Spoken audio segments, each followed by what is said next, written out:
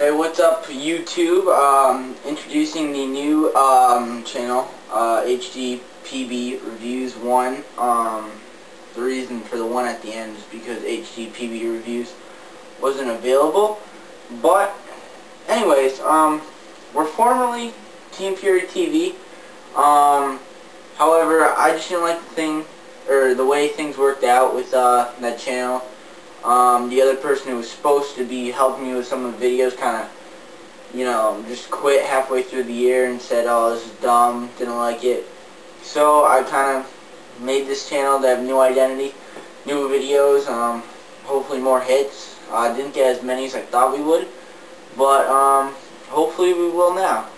Um, basically, um, it's just going to be reviews, game videos, um, know, we got we got a barrel cam, so we're gonna be doing some uh, in-game footage, um, shooting, um, gear bags. I mean, any kind of review you want, you can get. The most important thing is that you guys have to um, request, request, request. I don't care if you say, oh well, you know, they're not gonna have a an SL94. I want you to request it anyways. I know probably a good 40, 50 paintballers. Uh, who uh, have plenty of guns, and um, if there's a gun you can think of you want to see a review on it, I'm sure I know a person with that gun. So you gotta request, request, request either post it on the video or send it, put it in my inbox. Um, either way, it doesn't matter. Um, we got a lot of gear um, to start off with um, in the first couple weeks. Uh, we got the V-Force Grillz, my favorite mask. We got the J, any JT you want. We got i3s, we got i4s, you know, you name it, we got it. Um, no profilers, but oh well. Um, you know, we got lock lids right here. Um, absolutely hate lock lids, so I'll probably be doing some kind of pod show, but personally, don't care for lock lids at all.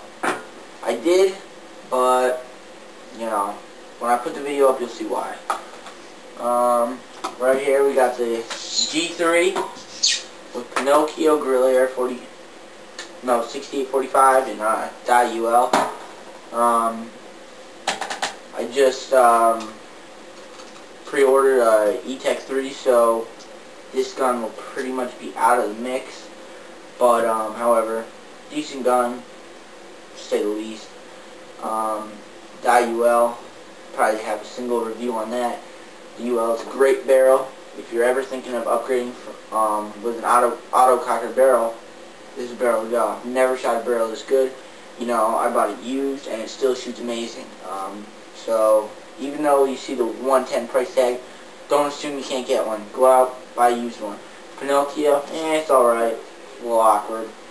Uh, air, beautiful tank. Exalt um, tank cover. You know, we're going to have a lot of reviews up. Gear bag video right after Christmas because I'm getting my new gear bag, the Razor compact from Planet Eclipse.